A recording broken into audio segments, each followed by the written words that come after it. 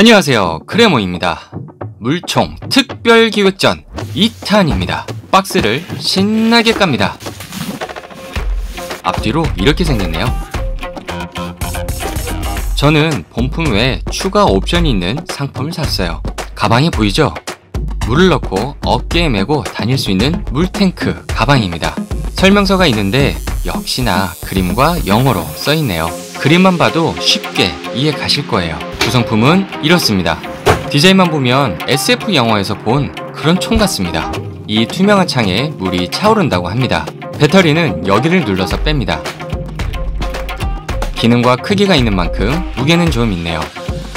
여기를 보면 튜브를 꼽게 돼 있어요. 튜브와 이 부품을 연결하면 물을 지속적으로 충전할 수 있어요. 물탱크 가방을 살펴볼게요. 가방 안에 물을 채우고 이 팁과 총을 연결하면 가방을 메고 움직이면서 물총을 쏠 수 있어요. 현실판 배틀그라운드가 가능합니다. 밖에 나가서 바로 쏴볼게요. 방아쇠를 당기지 않고 밀면 물 충전을 자동으로 해줍니다. 물이 차오르는 게 보이시나요? 단발로 빠르게 쏠 수도 있고 방아쇠를 2에서 3초간 누르고 있으면 기를 모으듯 한 방에 많이 나가기도 합니다. 이 튜브를 쉽게 빼고 끼울 수도 있어요. 총과 연결된 튜브를 물속에 넣고 충전을 해볼게요. 물총이 점점 진화하고 있습니다.